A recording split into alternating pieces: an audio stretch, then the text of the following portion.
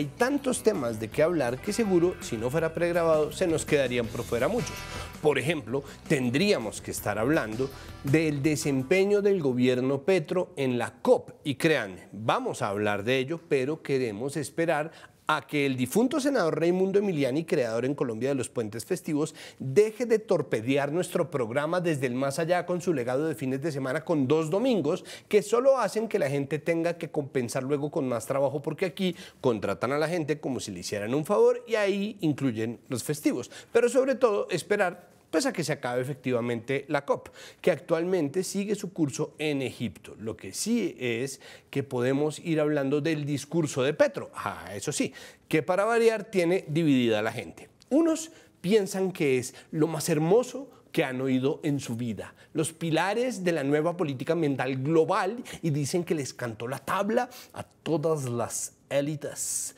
y como que cómo la gente no puede ver que esto es lo mejor, lo más genial que ha pasado en el mundo y la política y otros al otro lado dicen que es una locura, que la sola voz de Petro, ni qué decir de la palabra descarbonización, hacen que el dólar suba de precio inmediatamente y además oxidan el oro y que la clase media pierde sus sueldos de 20 millones de pesos. ¿A dónde vamos a llegar? A mí, porque el centro no existe, yo trato de pararme en otro lado y a mí me parece como, eh. A ver, es más, Sería más interesante hablar sobre el anuncio de Ecopetrol de que renuncia definitivamente al fracking, que considero una buena noticia y una apuesta concreta por, no sé, dejar de contaminar las fuentes de agua y sobre todo las de agua subterránea en el país, pero pues que sirva para algo toda esa mano de vuelos en jets privados. Así que volvamos a la COP y hablemos del discurso de Petro y su decálogo. Sobre todo, me parece que pese a estar de acuerdo con el diagnóstico, como me pasa tan a menudo con Petro, quisiera un poco más de concreción, como me pasa tan a menudo con Petro. Es decir, el decálogo sí hace algunas propuestas concretas y pone una plata para la Amazonia y amor es presupuesto, lo cual me parece que está eh, bien. Pero al tiempo me gustaría saber en qué se la va a gastar, porque la deforestación ha demostrado ser un problema muy complejo, pero además nadie sabe bien cuánto cuesta la reforestación de selva nativa, porque nadie la ha intentado a gran escala. Es verdad que la descarbonización es imperativa y que la COP es un lugar seguro para decirlo, pero acá venimos de una echada para atrás en nombre de los benditos mercados y ambas cosas son ciertas, que se necesita descarbonizar y que el miedo que eso produce en los sectores más fuertes de la economía es destructivo para la misma economía, pero puede incidir además en el empobrecimiento del país. Creo que el asunto está en el tiempo o la temporalidad. Es decir, si en este momento no hay suficientes molinos para la producción de energía eólica o hidroeléctrica suficientes, y ojo porque las hidroeléctricas tienen también sus propios impactos negativos, como lo hemos podido ver con Hidro y Tuango, la gente en Europa o en Estados Unidos que compre carros eléctricos los va a cargar con energía producida en termoeléctricas, es decir, con carbón o con petróleo, o en el mejor, mejor de los casos, con energía nuclear. Si hacer los molinos después de eso gasta energía derivada de combustibles fósiles, pues hay que calcular cuánta energía se gasta porque en este punto hay muchos problemas que incluyen, por supuesto, la posibilidad constante de que el remedio sea más tóxico que la enfermedad. Y esto va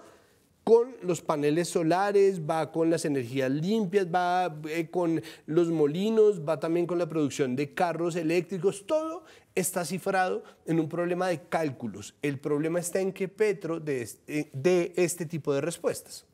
En cambio, por el lado latinoamericano,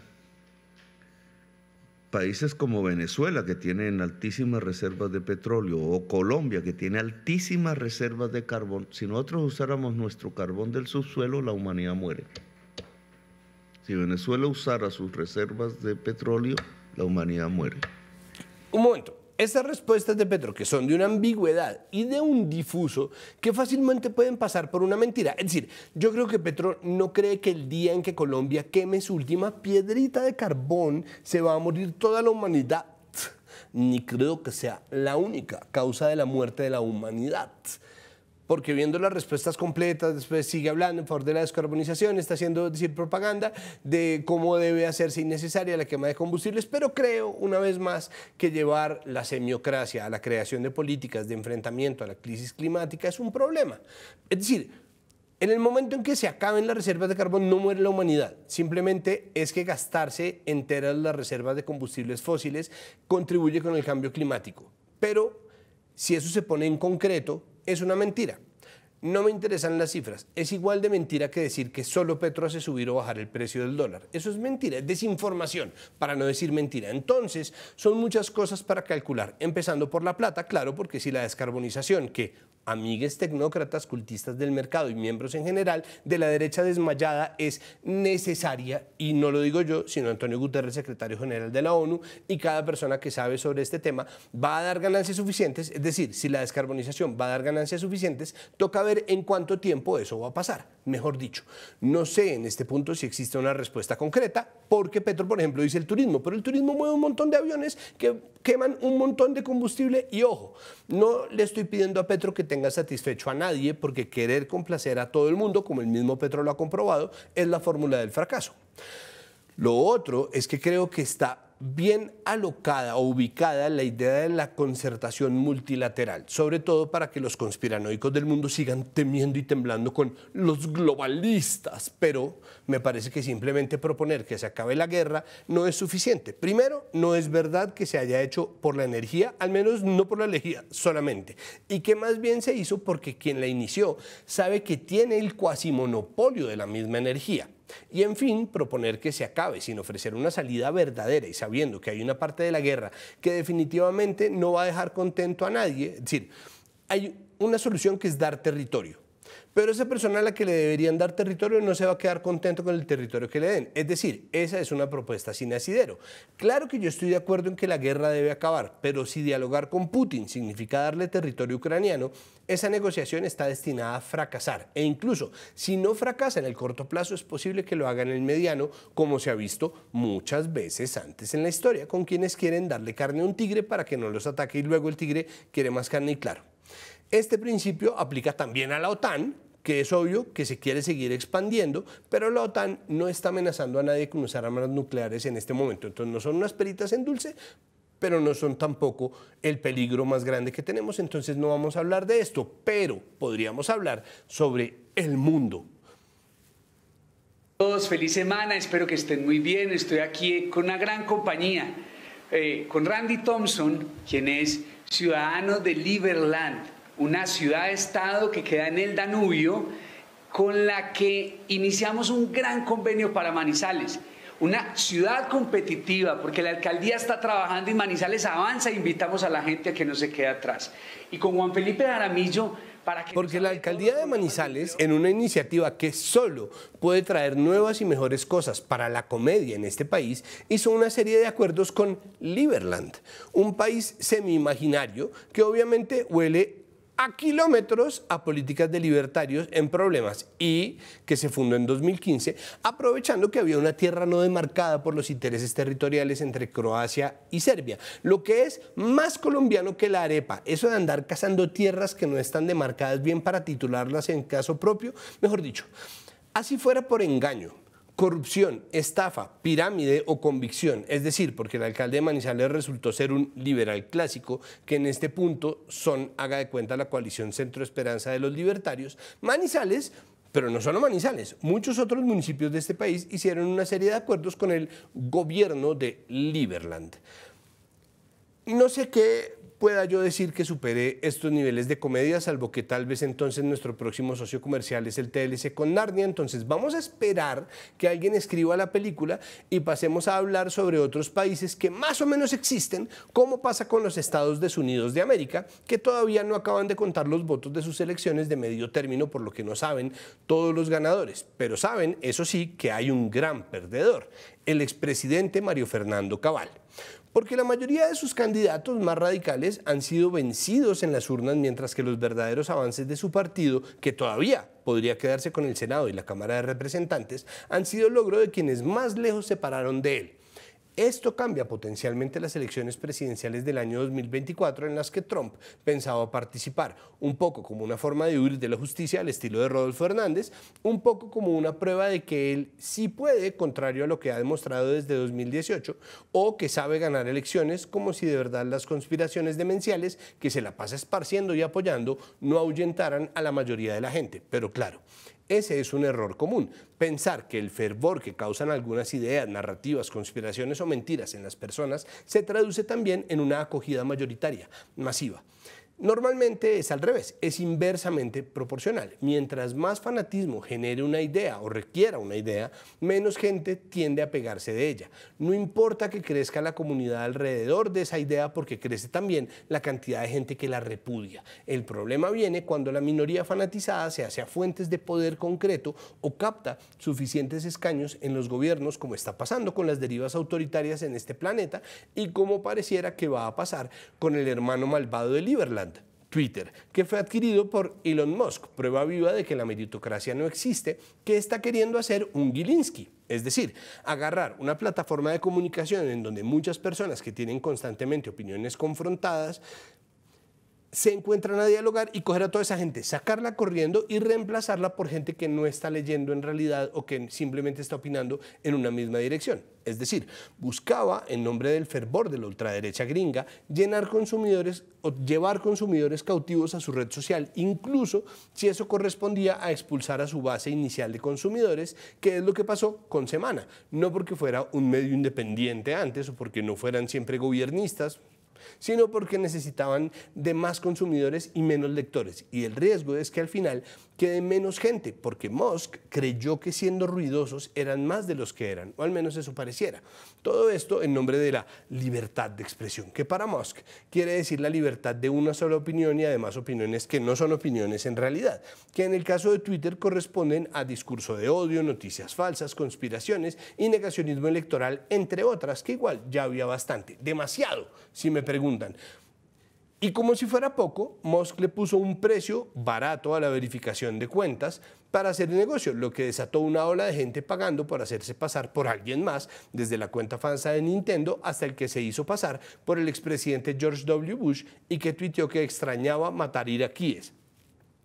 que es claro que es una mentira porque a Bush no le interesaba ir él a matarlos. Él solo quería petróleo y la gente era como en las series, un montón de extras a los cuales pasarles el horror por encima, que en este caso es lo mismo un Hércules o un tanque que un dragón. Entonces Musk está aprendiendo que las mejores cosas a veces son gratis. No solo por la verificación, sino porque su compañía, mientras encuentra su nuevo estado, sea lo que sea que vaya a quedar, pierde valor constantemente. Y a diferencia de sus amadas criptos, no hay tweet que pueda poner que lo salve ni siquiera temporalmente de esa debacle. Algunos dicen que Twitter se va a acabar, que va a colapsar, y otros que no. Yo creo que ahí va a seguir, pero pues yo todavía tengo una cuenta de Flickr que no quiere decir que la use. Y no, no vamos a hablar de eso. Si al contrario, necesitamos menos Twitter todos empezando por el presidente Petro. Y de eso tampoco vamos a hablar. Podríamos hablar de la verdadera libertad de expresión, porque la semana pasada apareció un borrador de un artículo en un proyecto de ley que van a presentar en marzo del año entrante al Congreso y que, en palabras del ministro de Justicia, Néstor Osuna, es una reforma de la política penal y penitenciaria para superar el estado de cosas inconstitucional que ha denunciado la Corte Constitucional desde hace más de 20 años. El problema es que el articulito decía, y cito, que abre comillas, la prensa escrita, las estaciones de radiodifusión sonora y los programas de televisión que operen en el país deberán adelantar campañas destinadas a generar un cambio en la conciencia ciudadana sobre la humanización de la política criminal, la creación de oportunidades y la potencialidad de la justicia restaurativa. Y se añadía que estos contenidos podrían, abro comillas, ser elaborados directamente por el correspondiente medio de comunicación, pero para su difusión deberían ser sometidos a la aprobación del Consejo Superior de Política Criminal, lo cual es realmente problemático porque es que no es como que un gobierno pueda por proyecto de ley imponerle ningún tipo de contenidos a los medios de comunicación, incluso con las mejores intenciones. Entonces al final echaron para atrás ese borradorcito y ahora el artículo dice, abro comillas, a partir de la fecha de vigencia de la presente ley, la prensa escrita, las estaciones de radiodifusión sonora y los programadores de televisión que operen en el país podrán adelantar campañas destinadas a generar un cambio en la conciencia ciudadana sobre la humanización de la política criminal, la creación de oportunidades y la potencialidad de la justicia restaurativa. Los contenidos podrán ser elaborados directamente por el correspondiente medio de comunicación, el Consejo Superior de Política Criminal podrá conceptuar sobre contenidos de comunicación para el gobierno nacional. Ah, entonces, ok. Pero al tiempo creo que hay que tener sumo cuidado, sin importar quién esté gobernando a la hora de escribir un articulado que influya en la relación entre el poder político y los medios, menos aún si se trata de un gobierno que tiene una relación tan complicada no de manera unilateral, con los medios y una base votante tan negacionista de la libertad de prensa. Porque, ajá, qué cosa linda con las ganas que tienen de cerrar los medios, al menos en Twitter, les petristes, furioses en redes. De todos lados pasa lo mismo. Cuando se está furioso, con una u otra nota salen a pedir que deberían cerrar ese antro, pero eso que venía pasando desde hacía tiempos, desde todos los lados, porque hay que decirlo, se nota más ahora. Tal vez porque la mayoría de los medios de comunicación en este país son de derecha y por primera vez tenemos un gobierno de izquierda, de centro. La cosa es que es decisión y libertad de los medios y no hay nada, pero nada, de nada de nada que el gobierno o las hordas de indignados y ofendidos malinterpretados y descontextualizados amantes de este gobierno puedan hacer para cambiar eso tampoco cerrarlos, que sería mucho peor que cualquier otra cosa que se inventen y no, no vamos a hablar de eso. Deberíamos, eso sí, hablar de fútbol, porque se acerca vertiginosamente el Mundial Qatar 2022. Y ahora que ya no se puede hacer nada, ahora que nadie quiere saber de ese paisito ni de su selección de mal fútbol, ahora que ya se pagaron las coimas y casi nadie llenó el álbum y eh, se gastaron esas mismas coimas y se invirtieron para sacar réditos y coimas futuras de futuras corrupciones. Ahora sí, el expresidente de la FIFA, Joseph Blatter, salió a decir que había sido un error poner el Mundial en Qatar. Pero a ver, papi, o en Rolo, a ver, papu, todo el mundo te lo dijo. Todo el mundo te lo dijo y se te dijo desde hacía rato, pero claro, a ti qué te iba a importar si estabas haciendo y la FIFA sigue haciendo exactamente lo mismo que Gilinski y Elon Musk, que es agarrar el fútbol, que vive en el alma de algunos países, pero que ahora se vende como novedad a un montón de gente en otros países que se lo toma como lo que es una novedad y un buen espectáculo que francamente podrían aprender a apreciar con el tiempo, que tiene cosas muy hermosas, pero que en este caso acaba teniendo demasiado control. Es decir, el público nuevo termina teniendo demasiado control sobre un juego que era muy bello y lleva ya años siendo una decepción y una abominación constante y un nido de corrupción y uno de los fracasos más estrepitosos de la ética capitalista, que decidió cambiar un público por otro y que no necesitando aparentemente calidad en su producto, se la quita en vez de apuntar a cualificar la vida de la gente con su producto. Es decir, cambiaron otra vez como Elon Musk y como Gilinski, cantidad por calidad, y arriesgaron también la cantidad, como Gilinski y como Elon Musk. Es decir, la gente quiere menos el mundial, la gente quiere menos el fútbol, la gente aprecia menos la labor que hicieron este señor y todos sus secuaces. Encima, va a tener lugar el mundial en un país lleno de restricciones, sobre todo a material, para parafernalia, ropa y accesorios que apoyen las libertades sexuales y la diversidad de género. ¿Para qué llevamos entonces años tratando de construir al interior del espectáculo del fútbol todos los discursos de inclusión posibles si luego Qatar paga una millonada para ponernos a ver fútbol que se juega en, estados, en estadios homofóbicos construidos con trabajo esclavo? ¿Por qué no nos dejan tener nada bonito? Y se pone peor porque no vamos a hablar de esto y en cambio podríamos hablar de temas de diversidad, o más exactamente de paridad que es su sucedáneo más inmediato, porque la silla vacía informó que el gobierno Petro, que tanto cacareó su gabinete de 50% mujeres y 50% hombres, está fallando en cumplir con la ley de cuotas, que no es paritaria, sino del 30%, es decir, rajados en paridad de género. Y la subrepresentación es un problema real, con consecuencias reales, porque la reducción de agencia política se deriva del problema estructural de sexismo, pero genera a su vez que no haya soluciones posibles a ninguno de estos problemas, por lo que está directamente relacionada con una semana horrible llena de casos de violencias basadas en género que van desde el abuso sexual a Hilary Castro, que ya mencionamos en nuestro episodio pasado, y la no atención a su, a su denuncia, y posteriormente el asesinato de su presunto agresor en una estación de policía. Pasa por la violación y empalamiento de una mujer aún viva que había sido antes víctima de violencia clasista en Villavicencio y llega hasta la violación y asesinato de una joven en Andes, Antioquia, entre muchos otros casos de agresiones en el transporte público, privado, contratado o la violencia doméstica como el video de una mujer siendo agredida físicamente por Juan Fernando Barona periodista que fue expulsado de Noticias 1 y que quiso defenderse mostrando unas imágenes de los rasguños recibidos como si eso justificara en algún momento su agresión, como si la mujer agredida no tuviera derecho a defenderse, como si no se lo hubiera visto agrediéndola en compañía de otro hombre que miraba como campanero y le ayudaba. Y claro, ese mismo amigo es cada uno de los pelotudos que ha salido en defensa de los hombres en las redes sociales con comentarios violentos e invalidantes en respuesta a tweets de mujeres que solo recrudecen el miedo. Y así el problema crece y crece y no, no vamos a hablar de eso, pero deberíamos, carajo deberíamos hoy, por fin, vamos a hablar otra vez de nuestros vecinos más cercanos. Porque nuestro mayor punto focal en los esfuerzos diplomáticos, incluso cuando no les hablamos, siempre será Venezuela. Por eso, cuando Petro viaja a la COP y hace misiones diplomáticas, termina hablando de la República Bolivariana de Venezuela con Macron o con cualquier otra figura política o líder mundial. Ahora que los presidentes de ambos países son más afines ideológicamente, esto presenta algunas ventajas, pero desata al mismo tiempo muchísimos miedos, algunos infundados, algunos no. A eso, las comunicaciones torpes del gobierno y la gran cantidad de especulación se suman las torpes comunicaciones del embajador Armando Benedetti y una situación en donde todo está entrelazado y todo es muy delicado. Conflicto armado, derechos humanos, la crisis migratoria, la política de hidrocarburos, los agroquímicos, todo, absolutamente todo pasa por Venezuela. Nosotros hicimos un episodio cuando se abrió la frontera. Ahora nos vamos con uno para entender qué deberíamos esperar de la normalización de las relaciones y si sí se está haciendo con la atención suficiente a todas las aristas que existen.